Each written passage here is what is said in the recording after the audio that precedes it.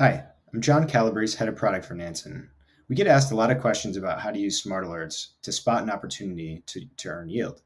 It's a great use case for the tool, and I want to walk you through an example that you might be able to use to, as a template to create your own alert around stablecoins. Let's start with USDC. It's a common ERC20 stablecoin issued by Center Finance. The power of Nansen lies within the smart money label, which are addresses that have proven success in providing liquidity, farming, and general activity in the market. Within the smart money profiler for token, we can take a look at how they are using USDC. To do so, let's move down to token transfers and see if there are inter- any interesting smart contracts that they've interacted with around USDC. You'll notice some common blue chip protocols like Uniswap and Aave, uh, but there's an interesting one here, Sunder Meso Dutch Auction. Uh, this is something that maybe you haven't heard before, and, and I hadn't. So definitely something I wanted to click into and check out. Um, when you're in here, note note that uh, USDC is actually a little bit odd in its token decimals, so you have to change that to six rather than 18.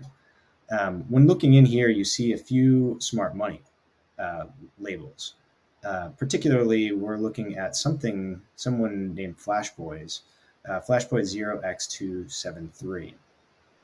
This looks interesting to me, so I'm going to click on the wallet profiler for token, which will bring up this specific address with USDC.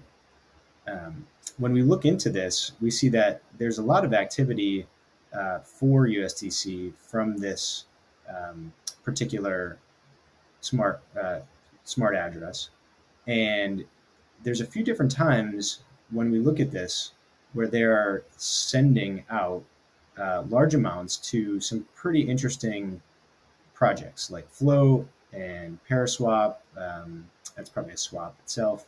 CurveFi, Y, y Deposit. So, so they clearly probably know what they're doing. Uh, Big Data Protocol was in there as well. Um, so this is a good sign to me that we might want to be alerted about this individual. So um, quickly grabbing their address, we can take this and say, let's create a smart alert around um, this particular smart money address. So this is this will be a simple um, alert, and let's put in the address here, and the trigger name is going to be uh, smart stablecoin. Within a few clicks, we should be able to get um, a something around this address. If they moved fifty thousand U.S. dollars, we will say it's a transaction. Um, we don't really care about a contract creation or a token transfer. Um, and we could even put in which coins we care about here. So for me, this is going to be USDC. So I'll search and find that in the list. Um, and here we go. So whenever this address sends USDC over $50,000, I can be um, alerted, whether that's in Telegram, Discord, or Slack, um, to a Discord webhook of my choice. Um, here I can put in mine, and then boom, this now is set up.